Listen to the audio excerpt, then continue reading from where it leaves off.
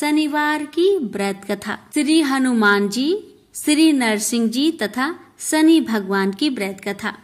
भगवान श्री महादेव ने सनत कुमार से कहा, हे सनत कुमार, अब मैं तुमसे शनिवार के व्रत की विधि कहूँगा, जिसके करने से मनुष्य को मनता नहीं होती।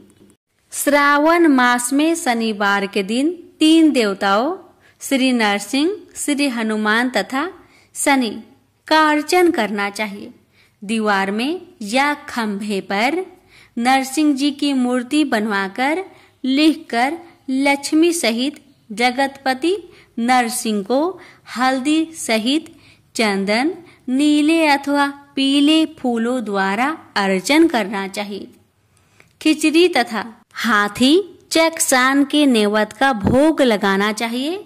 आप भी खिचड़ी आदि का प्रसाद पाकर ब्राह्मण को भोजन करवाकर भगवान नरसिंह को तिलों के तेल या शुद्ध घी में नहलाना चाहिए।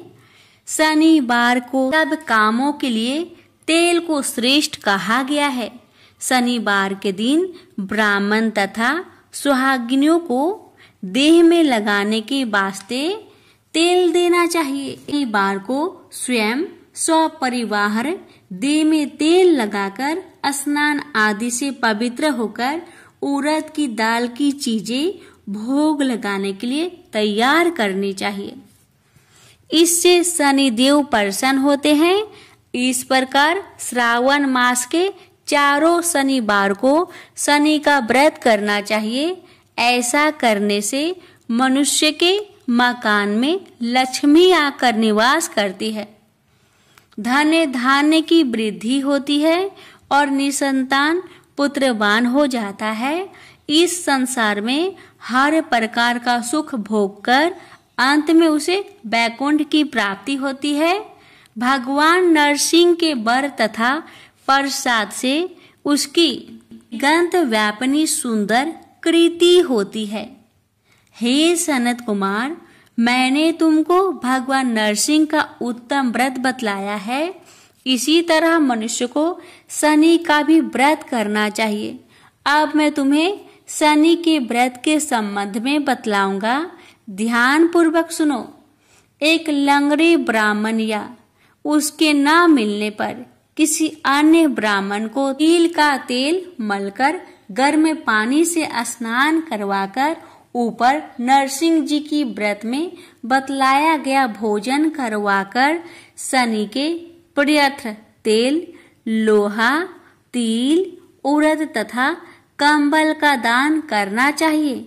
इससे शनिदेव प्रसन्न होंगे। मन में ऐसा विचार करना चाहिए, शनिदेव को तिलों के तेल से नहलाना चाहिए।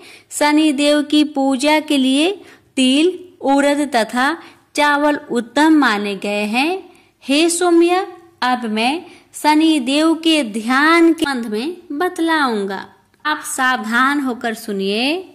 शनिचर का रंग काला है गति मंद है, कश्यप गोत्र है। शनि का जन्म सौराष्ट्र देश में हुआ है। सूर्य नारायण पुत्र बरदाता है।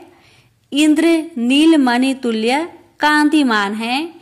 बाण धनुष्य तथा त्रिशूलधारी है, गिद्ध की सवारी है, यम आधि देवता है, कस्तूरी, अगर चंदन तथा गुलगुल और नेवद में उड़द की खिचड़ी प्रिय है, शनि के अर्चन में लोही की प्रतिमा बनानी चाहिए, दान देने के लिए काले रंग का ब्राह्मण उत्तम है, उसे दो काले कपड़े तथा काले रंग की गाय बछड़े सहित दान में देनी चाहिए और प्रार्थना व स्तुति करनी चाहिए। ध्यान पूर्वक सुनो। राजा नल का राज्य जब चला गया था तो राजा नल ने शनि देव की आराधना की थी। शनि देव ने प्रसन्न होकर उन्हें दोबारा राज्य प्रदान किया था। मनुष्य को चाहिए कि वह इस प्रकार शनि देव की आराधना कर कहे कि मेरे ऊपर शनिदेव प्रसन्न हो, नीला जन के तुल्य, कृतिमान अतिमंद भ्रामी, छाया नामक स्त्री से सूर्य द्वारा उत्पन्न शनिचर को मैं नमस्कार करता हूँ। मंडल कोण में स्थित पिंगल नामक शनि देव को मैं नमस्कार करता हूँ। हे देवेश, मुझ आदि दिन पर कृपा करो।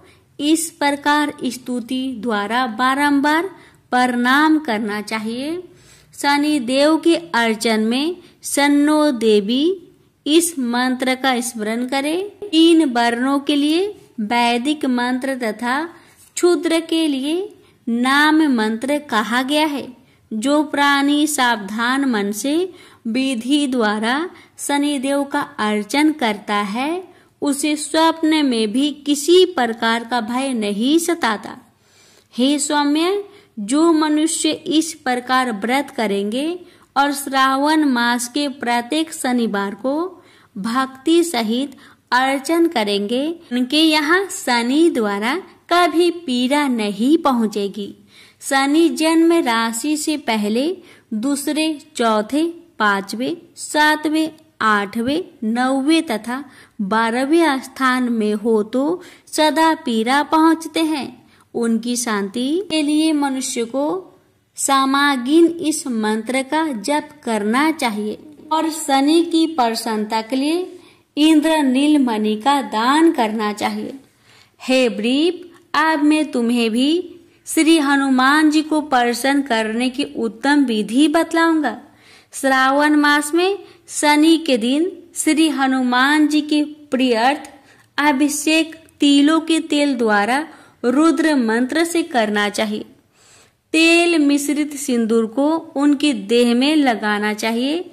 जपा, अर्क तथा मदार माला से अर्चन करके न्यवध के लिए औरत के बड़े तथा अन्य उपचारों द्वारा यथाशक्ति भक्ति और श्रद्धा द्वारा अर्चन करना चाहिए।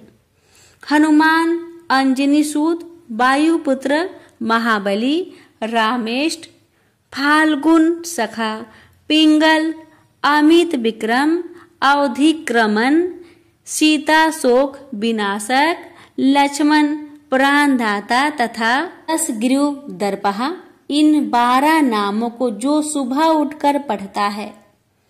उस मनुष्य को कभी कष्ट की अनुभूति नहीं होती, तथा उसको संपूर्ण ऐश्वर्य प्राप्त होता है।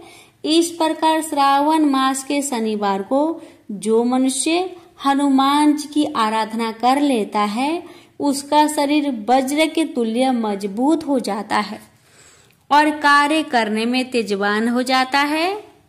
वह बुद्धि विवेक से विभूषित हो जाता है। उसके शत्रु नष्ट हो जाते हैं और मित्रों की वृद्धि हो जाती है। श्री हनुमान जी के प्रसाद से वह पराक्रमी तथा वैभवशाली हो जाता है।